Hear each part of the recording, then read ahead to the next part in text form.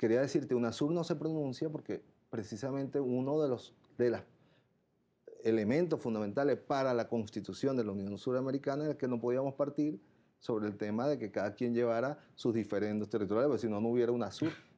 Tema que ya anticipamos en el bloque anterior, la UNASUR respaldó el reclamo argentino de soberanía sobre las Islas Malvinas. En un comunicado rechazó la presencia militar del Reino Unido por considerarlo contrario a la búsqueda de una solución pacífica al conflicto.